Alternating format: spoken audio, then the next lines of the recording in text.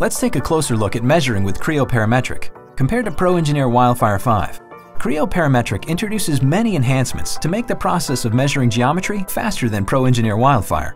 The first immediate change is that all functions for measuring geometry are within one tool. This allows for one dialog to be open for all functions. As we select references, all the information for that reference is presented in a dialog on the screen. We can minimize these dialogs or move them around as we need. In Pro Engineer Wildfire 5, we would have had to start each function separately to access this information.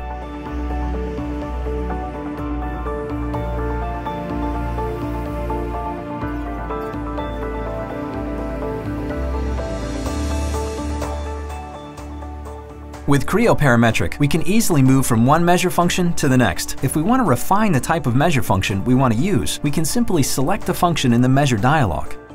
In this case, we can specify we want to measure area without having to close out the dialog and restart a new function, a real time saver. When saving the measured values, the dialogs that appear on the screen will be visible after we close the dialog.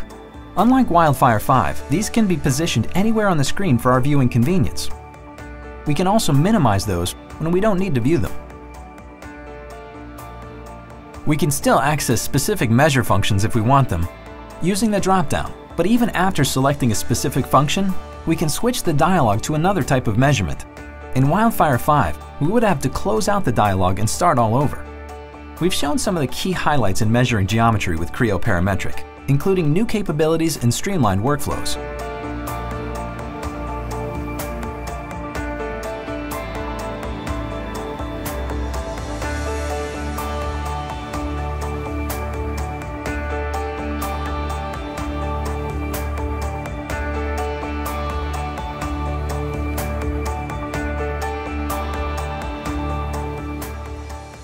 The result is improved design productivity, as even in this short comparison, I saved some 10% of the time taken to achieve the same result with Creo Parametric compared to Pro Engineer Wildfire.